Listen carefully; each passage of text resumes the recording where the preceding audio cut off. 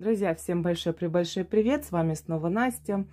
И давно меня уже не было на канале. Это видео я решила посвятить новой рубрике. Называется «Вопрос-ответ». Очень часто в комментариях вы мне задаете а, однотипные вопросы.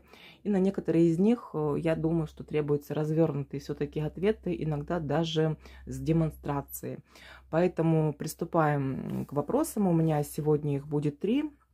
И первый вопрос. Сергей Матрёнин, прошу прощения, если неправильно назвала фамилию, пишет. Настя, подскажите, пожалуйста, каким клеем проклеиваете уголок трубочки? При окрашивании клей ПВА оставляет белые пятна. Почему так? А, да, на самом деле очень часто мастерицы используют при склеивании трубочек клей ПВА. А, я лично пользуюсь клеем ПВА фирмы Луч. Это наш отечественный клей, он еще бывает в желтой таре. Также некоторые используют при накручивании трубочек, я знаю, полимерный клей. Его я использую для наращивания трубочек при плетении. Он для удобства находится у меня в шприце. Также видео имеется на канале. И э, писали мне, что некоторые даже используют клей-карандаш наш. Но данный клей, э, он простенький. И, в общем-то, я думаю, что очень хорошего качества должен быть, чтобы э, трубочки не расклеивались э, при окрашивании уже непосредственно. Но эта тема не касается сегодняшней нашей, поэтому я не буду разворачивать ответ. В общем, клей ПВА да и, мне кажется, любой другой клей, он а, имеет а, свой состав и после высыхания обязательно оставит след на одежде, на бумаге, да на чем угодно. Я надеюсь, все об этом знают. И когда трубочка окрашивается, остается белесый цвет. То есть вместе склеивания трубочки, когда вы ее красите, допустим, в более темный цвет, то вот это место где э, трубочка проклеена, оно не прокрашивается. Почему не прокрашивается? Эффект тот же самый, если бы вы туда нанесли, допустим, капельку э, лака. То есть он водоотталкивающий эффект имеет этот клей, и просто краска не ложится. Она еле-еле заметно закрашивается, вот и все. Не знаю, почему у многих вызывает этот вопрос очень, ну, как бы люди переживают. А, в одном из своих видео способы и правила наращивания я уже объясняла, что трубочка, а, вот мы начали ее крутить, закручиваем, закручиваем, закручиваем, и вот в месте прокрашивания у нас остается место скрутки. Сейчас, к сожалению, плохо здесь видно. Вот они, виточки. Вот он, уголок где мы ее проклеиваем. И по правилам наращивания мы всегда срез делаем максимальный, да, критическая точка наша вместе склеивания трубочки. То есть, когда мы ее подрезаем для наращивания при максимальной возможной а, длине, то именно вот эта часть не прокрашена, она остается у нас застойкой. Видео я оставляю также в описании. Обязательно зайдите, посмотрите. Чаще всего а, наращивание происходит а, до этого момента. Поэтому просто вот эта часть, она, которая а, не прокрашена, она просто утилизируется. Если вы а, плетете и не делаете по правилам наращивания срезы, да, как положено, то у вас получится как обяка. Вот и все. Здесь у меня трубочки уже для другого вопроса подготовлены. А, поэтому не стоит а, бояться этих белых пятнышек. Если вы хотите, чтобы они как можно меньше были у вас заметными, вот я здесь подготовила, у меня есть а, трубочки мои старые, которые лежат у меня уже бог знает сколько. Я их использую в разных целях. Вот здесь можете заметить, да, белес цвет. На более светлых тонах этого незаметно. В общем-то, всего-навсего потом это все обрезается, никаких проблем. А, если у вас это очень сильно выражено, что это значит? Это значит, что при накручивании трубочек, когда вы берете полоску бумаги, вы капельки клея, очень, ну я так наблюдала, смотрела, и я так раньше делала, да, вы берете тюбик новый, клей очень густой, и вы прям разносите его вот так, вот таким образом. Ну, то есть его там достаточное количество, он застывает и, конечно же, образует очень а, плотный слой, который а, даст такой эффект. Я же клей а, развожу с водой 2 к 1. То есть две части клея и одна часть воды. Он у меня жидкий. Я его наношу, э, всегда разношу, макаю. У меня отдельный стаканчик. К сожалению, сейчас его нет, но у меня тоже видео есть, как я это делаю. Ссылочку в описании оставлю. И просто я вот буквально сантиметр на кончике наношу э, раствор клея с водой. Все, нанесла на несколько штук скрутила. Если у вас будет большое количество полос, и вы прям хотите одним махом все, ну, просто начнут высыхать, застывать, и они у вас склеиваться не будут. Ну, опять же, да, скажу, что это тема для другого разговора. Чтобы был менее заметен у вас след, вы просто его немножко с водичкой разбавляете, наносите и скручиваете. Все, минимально э, у вас э, здесь будет белесый цвет. Э, я на самом деле стараюсь тоже, чтобы эти белесы части как можно меньше было видно. Почему? Потому что при наращивании стоек иногда э, я эти кончики не срезаю, а просто на, навинчиваю друг на друга. Да, но я плету большие высокие короба. И, в общем-то, э, вот эту часть, э, как бы она получается на стойке, она не должна быть сильно выделена. Также есть видео на моем канале, как я наращиваю стойки двумя способами. Так, подведем итог. При нанесении, нанесении клея ПВА не стоит бояться этих белесых следов, потому что клей ПВА имеет такое свойство. При высыхании он дает водоотталкивающий эффект. Поэтому ваш э, красящий состав просто делает, не, про, ну, не прокрашивает это место. Вот и все. Чтобы сделать его менее заметным, попробуйте клей ПВА разбавить. Дальше. Вопрос номер два. Пишет Елена Белякова. Анастасия, здравствуйте. У меня при трубочек получаются э, разные... Э, трубочки получаются разной длины. И диаметр практически одинаковый на разных концах. Стыковать сложно получается. В чем моя ошибка и как быть в этом случае? Заранее благодарю за ответ. Итак, это ошибка, когда у вас трубочки получаются разной длины, ошибка новичка. Но и поверьте, э, и у меня до сих пор, я уже седьмой год, седьмой год занимаюсь плетением, трубочки бывает получаются э, меньше. То есть, то есть, когда мы трубочку накручиваем и берем полоску, допустим, в, 2, в 30 сантиметров, да, формат, если А4 используем, то у нас и трубочка на выходе должна получиться в 30 сантиметров. Плюс-минус там эти миллиметры не столь важно. То есть при накручивании наши виточки от начала до конца должны создавать одинаковый шаг. И это будет правильной трубочкой. Тогда у вас в начале и в конце толщина трубочки будет одинаковая. И плотность трубочки по всей длине она будет одинаковой. А, наращивание, как производить, э, повторюсь, э, ссылку в описании, заходите, смотрите.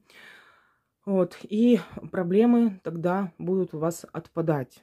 Вот. Опять же, все приходит с опытом. Если у вас не получается производить наращивание, как-то вам это неудобным кажется, ну вот потренируйтесь, пожалуйста.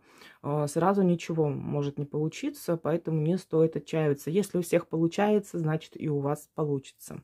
Вот у меня здесь неправильные трубочки. Когда я их кручу, они у меня остаются, я их не выкидываю. То есть, ну, я вижу, что она, ну, плохая, испорченная, там бывает вообще ужас ужасный. Я их просто в пакетик складываю и потом использую для того, чтобы ну, какой-то цвет получить, да, смотрю, прокрашиваю их, чтобы мне не жалко было их выкинуть. Вот. И, как вы видите, на неправильной трубочке у нас вначале идет шаг 1, 1, 1, 1, потом меньше, меньше, меньше, меньше, бах, и уже, короче, вот в этом месте трубочка очень плотная, очень плотнее намного, чем в самом начале. И трубочка получается короче.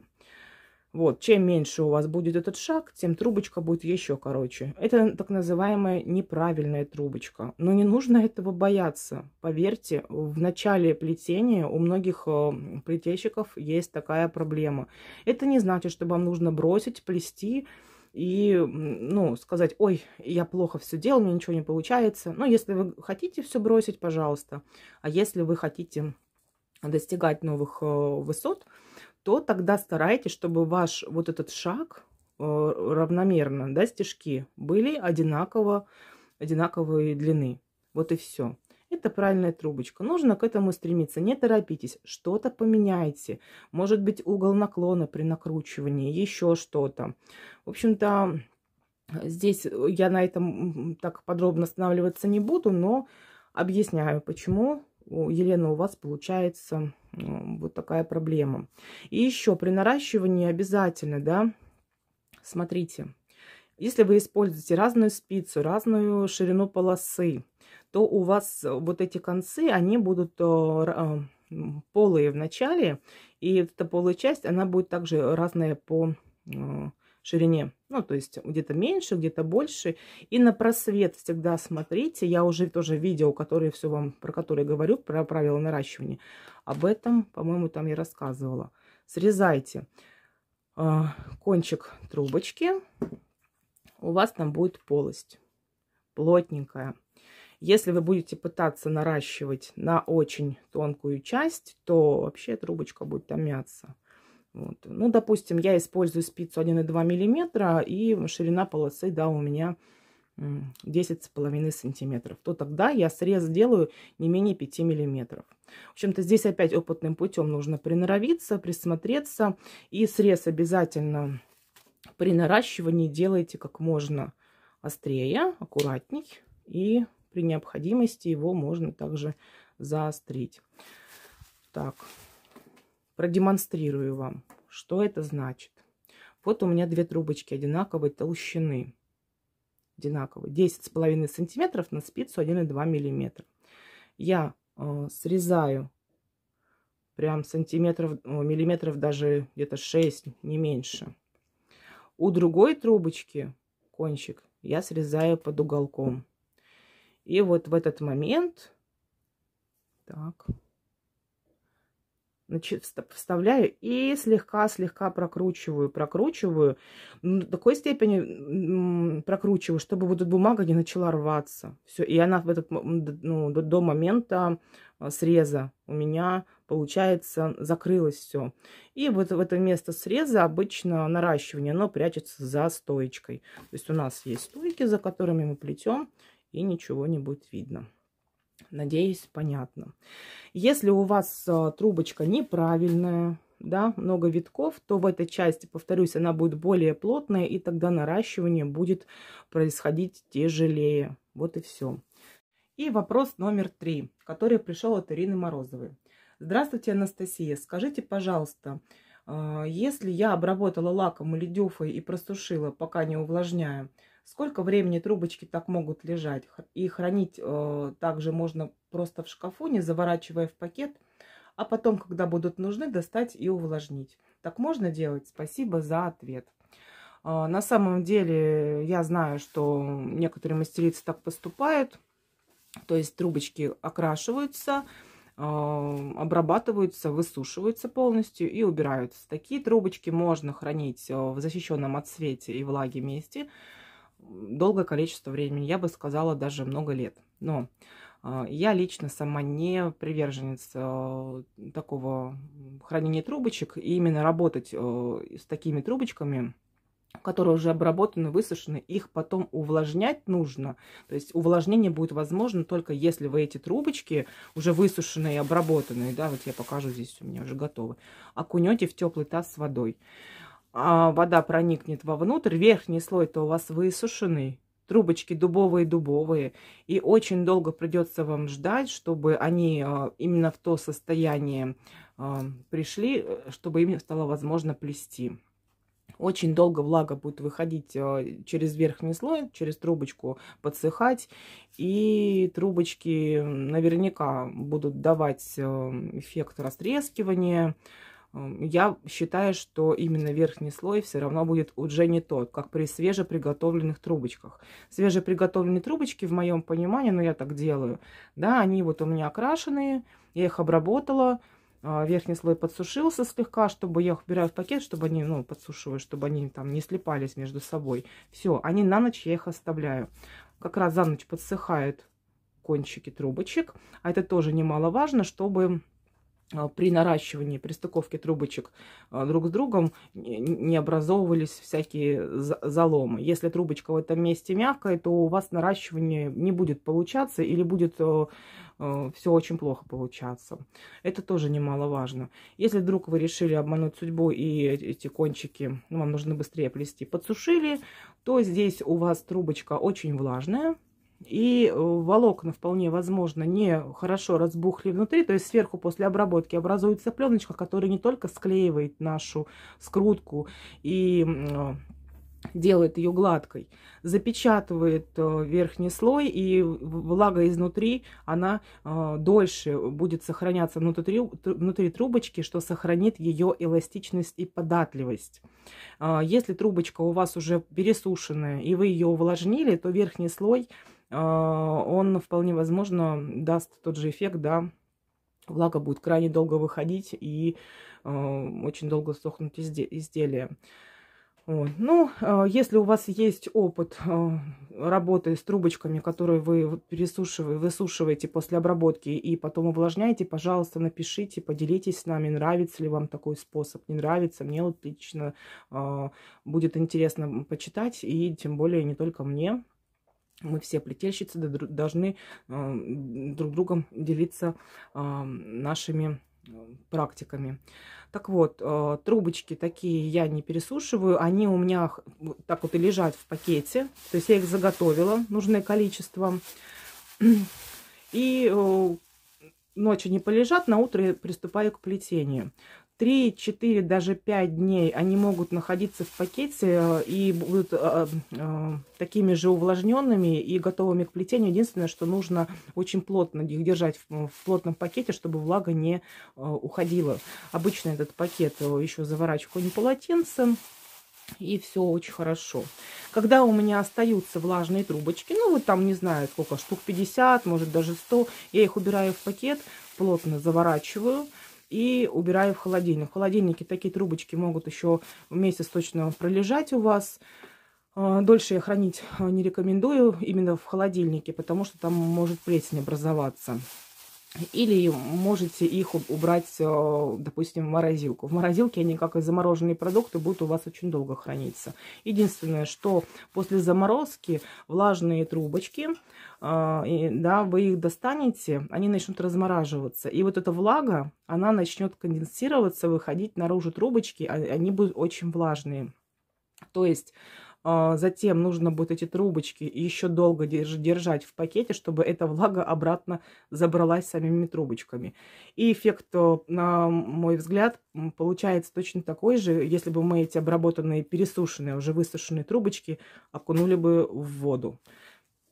То есть верхний слой, он все равно э, будет отличаться, качество трубочек, я имею в виду, от свежеприготовленных.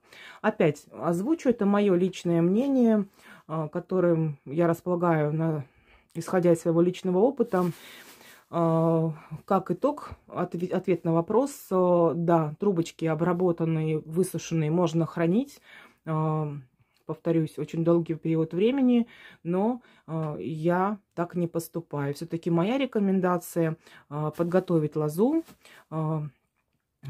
да, окрасить, обработать и убрать в пакет и плести свежеприготовленной лозой. Можете а, окрасить бумажные, бумажные трубочки высушить и именно окрашенные хранить также долгий период. И потом при необходимости брать этот, э, эти трубочки, обрабатывать, выждать какое-то время и приступать к плетению. Все, друзья, на этом э, мое видео подошло к концу. Если у вас э, есть вопросы, на которые вы давно мечтаете получить ответ, пожалуйста, задавайте его под этим видео. Буду рада вашим лайкам, комментариям. И надеюсь, до новых встреч. Пока-пока.